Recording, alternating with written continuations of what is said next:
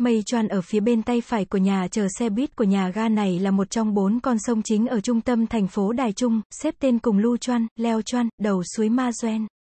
Khu vực hạ lưu Mây Choan, hai bên suối có rất nhiều cây cối xanh tươi mát mẻ dễ chịu, là nơi thích hợp để người dân xung quanh tàn bộ vào buổi chiều. Nếu bạn muốn đi dạo dưới bóng cây, bạn có thể trải nghiệm bầu không khí thư giãn và yên bình sau một buổi chiều.